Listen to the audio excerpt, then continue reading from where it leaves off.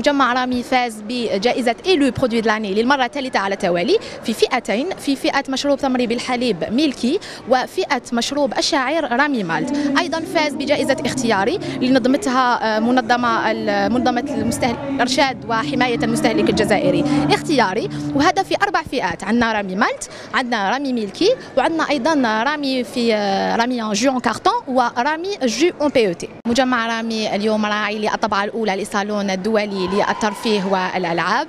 تعد هذه الفعالية فرصة سانحة لنا. نحن كشركة اقتصادية رائدة في مجال المشروبات غير الكحولية. اليوم رانا هنا باش نتفاعلوا مع الأطفال والعائلات والشباب. وهذا للتعريف بمنتوجاتنا المتنوعة. وأيضا خلق تفاعل مع الأطفال والزوار. الهدف هو تعزيز يعني ثقافة اللعب والترفيه لدى الأطفال.